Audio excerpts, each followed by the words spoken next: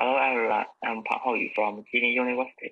Here I'm going to present our recent work focusing the network modulation and the task adaptation approach for user cold start recommendation.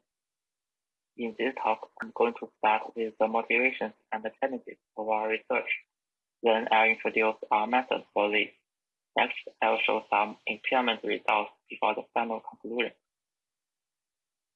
First is the motivation. Validate the information over the problem caused by the explosive growth of data and provide convenience for users.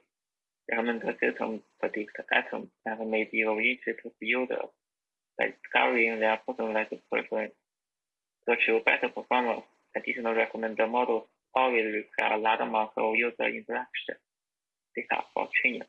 However, the interactions of new users are often insufficient and sparse, to the user cold start problem. Since the advent of recommender systems, the user cold start has been one of the most important factors influencing its effectiveness.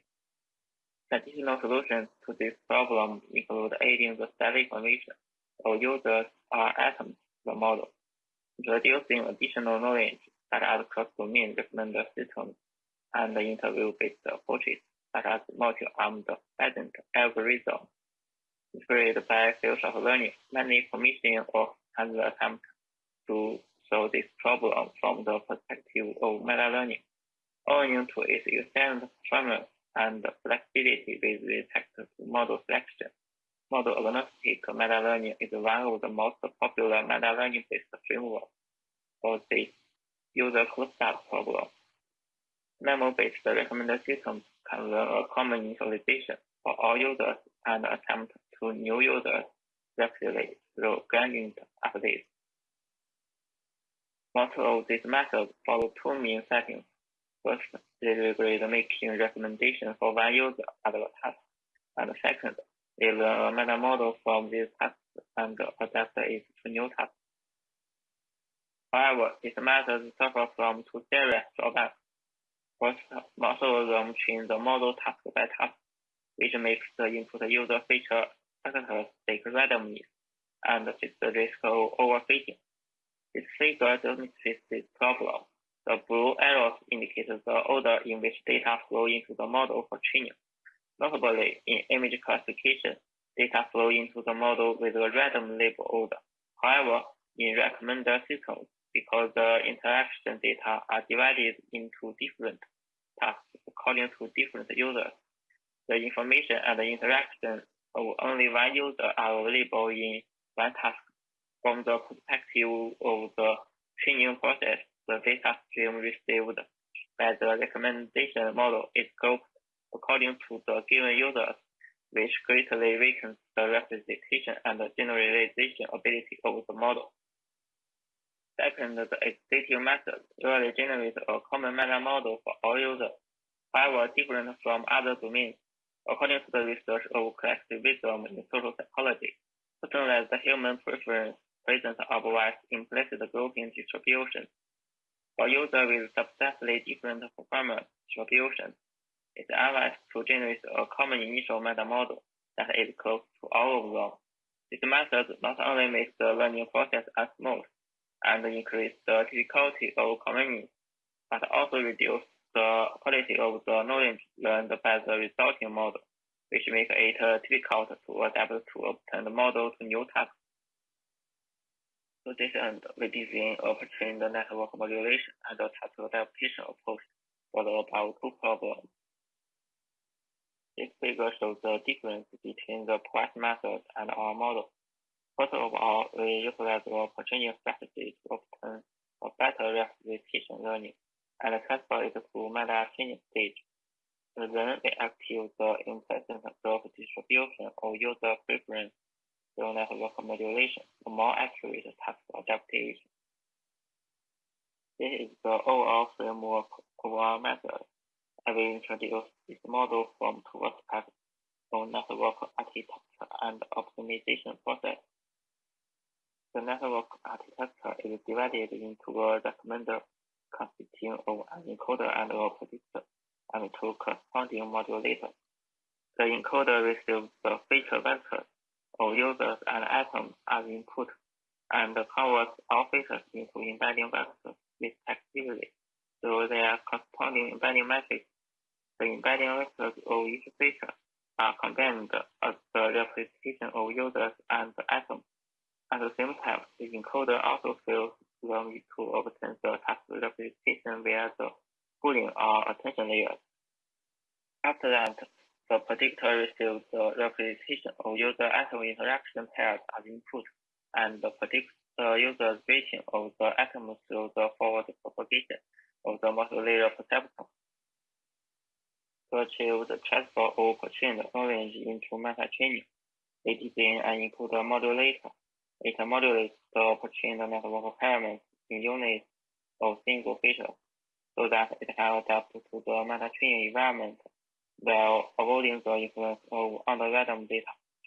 Specifically, this set the wet and above are the group of modulation parameters for each dimension of the feature matrix and update them with stochastic gradient descent during the meta training. Besides, we also define other encoder modulation functions to further demonstrate the effectiveness of our method, but as the element is analyzed and scarcely we will compare the performance of this method in ablation experiment. And for the predictor, we also introduce a predictor modulator to activate the implicit preference distribution of each user.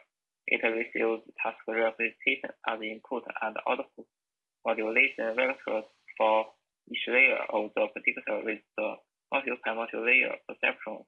Here we authorize the method called feature-wise linear modulation. Besides, we also define an uh, attention-based method for comparative analysis. The optimization process of the model consists of two parts, pre-training and uh, meta-training. During pre-training, the training data is randomly sampled in units of interaction pairs. The model is optimized by computing the mean squared error in the end, we only keep the parameters of the encoder and transfer it to the following meta-training stage. During the meta-training, the meta-adaptation and the meta-update take turns. The data is sampled by user and divided into support set and query set.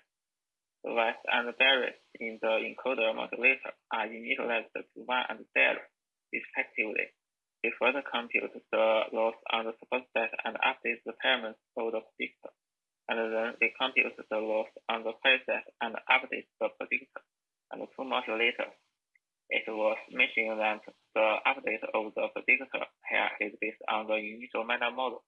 The loss is calculated based on the model after adaptation, but the gradient is calculated based on the meta model parameters and used to update the meta model. Next is the experiment. In this section, we consider the following self-research questions. First, how well does our method perform compared to its ablation models and the SOTA method? And second, how do different modulators affect the performance of our method? And uh, the third, does for training make our method remain stable even with few start users? How does the number of interactions in the support set affect our method? And fourth, how is our method impacted by its hyperparameters? And last, in addition to the improvement in recommendation performance, does our method accurately learn better user representation? Can this be seen visually? We evaluate our method on two public benchmark sets, MovieLens and Mini and Book We apply the following metrics to evaluate the compared recommendation model. The mean average error, root mean squared error, and normalize the discount cumulative gain. For each metric consists with the provided work. We calculate the average result for all users from the query set in the text set. And we compare uh, both with the following meta-learning based SOTA method